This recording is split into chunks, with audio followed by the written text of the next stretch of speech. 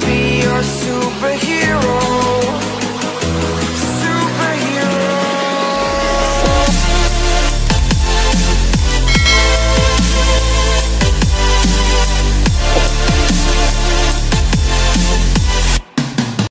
Hi guys, welcome back to my channel. It's me, JB2 in E4. Free Diamonds quick tutorial to get in Mobile Legends. Kung interesado ka sa mga ganitong video ay nararapat na tapusin mo ito hanggang dulo. At huwag kakalimutan na mag-subscribe, click ang bell button para updated ka sa next video. Maraming salamat at mabalik tayo. Sa video na ito ay may share akong app na kung saan ay pwede kang makakuha ng libreng diamond. Kung ano ito, tara ating alamin. Hello guys! Wala ka bang diamonds na pambili ng skin? May solusyon ako dyan para sa iyo. Ito ang bagong app na napatunayan at nasubok na ikaw ay maaaring makakuha ng libreng diamonds. Ito ang mga diamonds na kaya mo i-redeem kaagad. So, let's start.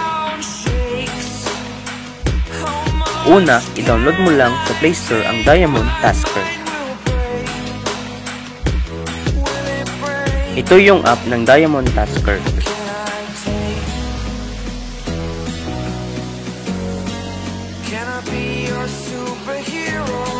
Maaari kang gumamit ng mga coins para i-redeem ang mga diamonds at ang mga coins ay napakadaling ma-earn. Mayroong higit pang mga paraan upang makakuha ng mga coins araw-araw na rewards, spin, scratch, task at iba pa.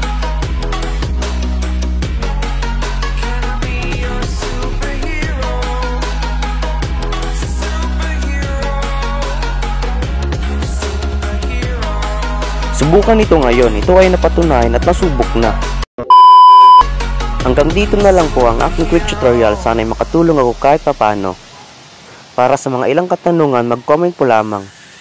Para sa next video ay masasagot natin. Maging updated ka lang sa mga bagong videos ko.